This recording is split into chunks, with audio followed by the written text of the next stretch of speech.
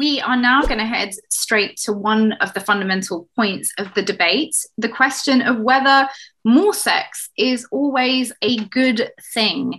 And to kick us off on this, I'm going to ask Yaron to help us out to answer that one. Is more sex always a good thing, Yaron? No, obviously not. Certainly not at an individual level. I mean, uh, it, it, depends what motivates the sex. It depends on whom the sex is with. Uh, it depends on, on, on on the context in which one is alive. Just uh, uh, uh you know, a lot of um, a lot of sex with uh, with strangers just for the pure physical physicality of it. A lot of sex without intimacy a lot of sex uh, just for the sake of having it, or as Suzannah said, a lot of sex because it's socially required or demanded or expected of you. All of those are, are clearly uh, are clearly negatives. Uh, one wonders, though, on a societal basis, if uh, you know you can make those kind of conclusions, uh, independent of everything else going on in the world.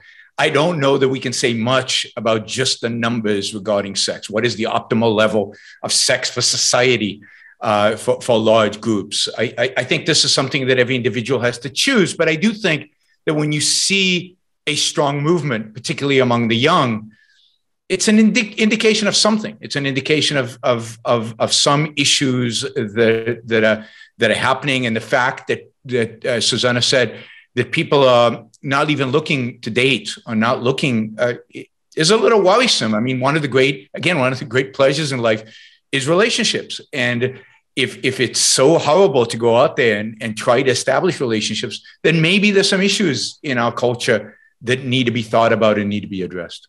What are your thoughts on that one, Liara? Is more sex always a good thing?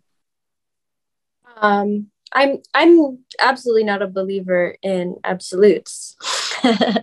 um, however, you know, I, I think it, it's up to each individual person's preference. I think if someone wants to be totally asexual and live as a monk in the mountains, and that is what makes them happy, they should go and do that.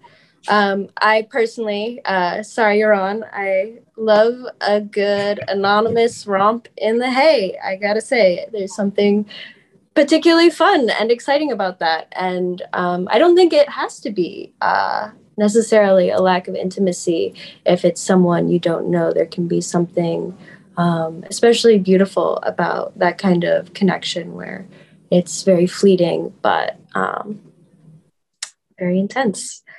Um, but yeah, I think I think people should really try to get in tune with what they want and what makes them happy. And I think people, um, some people are starting to do more of that. I actually think, you know, people gender and exploring their sexuality is so healthy because um, it really lets you um, just get in touch with with what you want. Um, I do think that uh, there can be a lot of online discourse though that can get really toxic um, where people um, will shame someone for having different preferences than them and um, there's this uh, sense of righteousness from people who have different preferences like you should only have sex within a marriage or like sex is evil and bad and you should only do it to make babies or um, you should have like sex all the time and be a total slut because that's the that's the best way to be. I think um,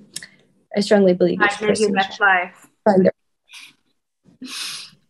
Um, and, and so what about do you have any concerns about the younger generation who might be having less sex I mean, do you have any sense of why that might be the case? Do you think at this point that having less sex is just a question of personal preference, or do you have any concerns that it might be linked to um, kind of underlying shifts in? Uh, I mean, Yaron kind of touched on it, didn't you? The idea that maybe like our wider culture, whether it's social media or other elements, might be shifting the way that we even think about sex and who we want to engage in sex with. I think social media is such a big factor that um, you know, I, um, you know, I have younger siblings who, um, you know, they will. Uh, there's just so so much pressure, especially with platforms like Snapchat, um, where you can screenshot everything. Um, I think, you know, it used to be you could phone up a pretty girl and say, hey, you know, do you want to go on a date with me? Um, and if she says no, there's not necessarily a record of that. Or if you ask her out in person, like she can go and tell her friends and maybe talk shit about you. Um, but you don't hear that either. But now it's like you send her a text message. You're like, hey, do you want to get dinner? I think you're cute. And she screenshots it and sends it to her group chat with all of her friends. And she's like, oh my God, like how weird and creepy. I hate this guy. He's so annoying. And then one of them sends you a screenshot of the group chat. And then all of a sudden you see all these people talking shit about you and you feel terrible. And you're like, okay, I can never ask another girl out again. Um, and I think it leads to this sort of neuroticism about, like, I think talking shit about people is fine. I think asking people out, even if you're not totally sure if they like you, is fine. But having all of that shoved in your face is just not healthy. Um, I don't think everyone needs to know everything that everyone is saying about them. Thank you. Um, Suzannah, can I turn to you for this uh, initial question? And what, what's your take on the more sex issue? Is more sex always a good thing? Do you think that the uh, the reduction we're seeing in the figures is is a sign of a, a wider problem, or is it just a shift in personal taste? I think that, um, as you said, research um, shows generally that it's not about how much sex people are having, but why they're having the sex. So, if couples are told to have more sex, if they're doing it because they're told to, um, that doesn't lead to greater happiness.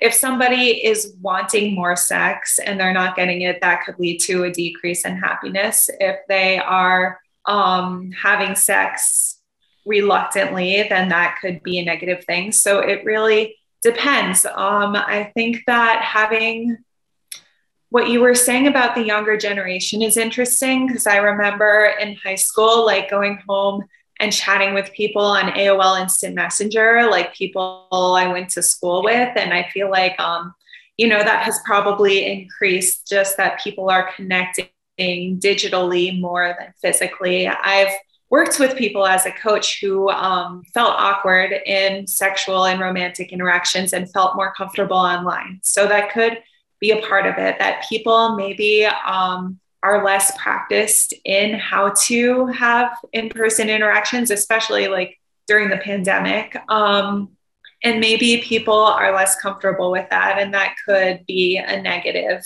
uh, reason why people may be having less sex. So let's talk a little bit about the underlying reasons for this. I mean we've touched on social media briefly. Uh, I, I know that porn is often brought into this conversation as one of the factors.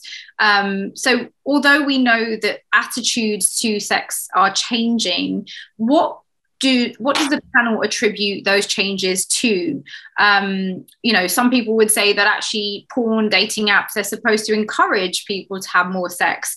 Are they actually having the opposite effect? Are they ruining sex for people when they should or in or are meant to or sold to us as as actually improving it? Liara do you want to kick us off on that one?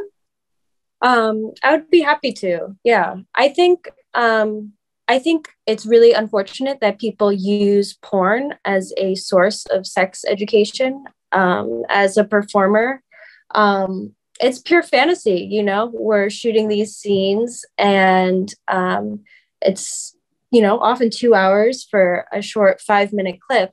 Um, so there's a lot that's cut out that you don't see. Um, I think this country really needs proper sex education and not just about the pure mechanics of it, um, but about pleasure, um, because that's not something that people should be getting from porn, period. Um, I do think that other people from diverse uh, viewpoints making more porn would be great too. So much of it is, you know, kind of the same stuff. And I get, you know, it's what certain people are into, but um, I think there could stand to be more diversity in porn. To continue watching this video, click the link in the top left or in the description below. Or visit iai.tv for more debates and talks from the world's leading thinkers on today's biggest ideas. For more debates, talks, and interviews, subscribe today to the Institute of Art and Ideas at IAI TV.